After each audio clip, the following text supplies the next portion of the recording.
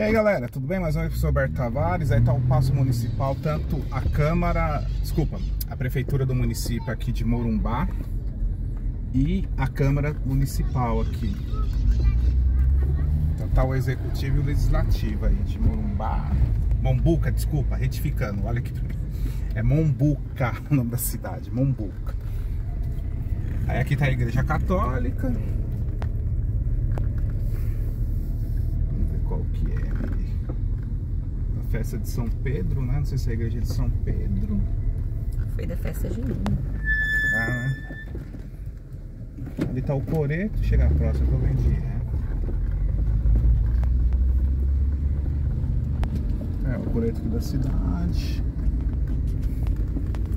É que assim, galera, eu já estive aqui, eu já filmei aqui.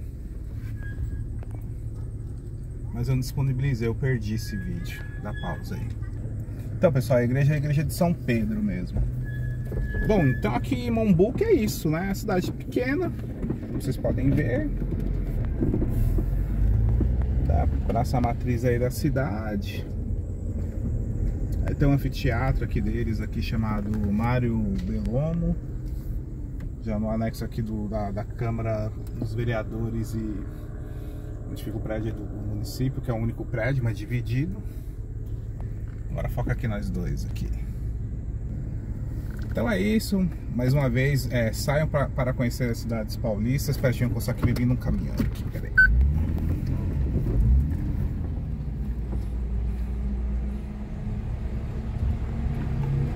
Dá uma pausa para do barulho. Bom, é isso, tá? Então, é, vamos lá, vamos retificar aqui o que, que é o perfil dessa cidade. Aqui é uma área rural, praticamente, nós estamos na área urbana. A cidade é o, o ela mexe com a questão da agricultura na questão da monocultura do plantation, que é da cana de açúcar. E venham conhecer. Só que eu posso dizer para vocês, venham conhecer e ver com os próprios olhos de vocês, tá bom?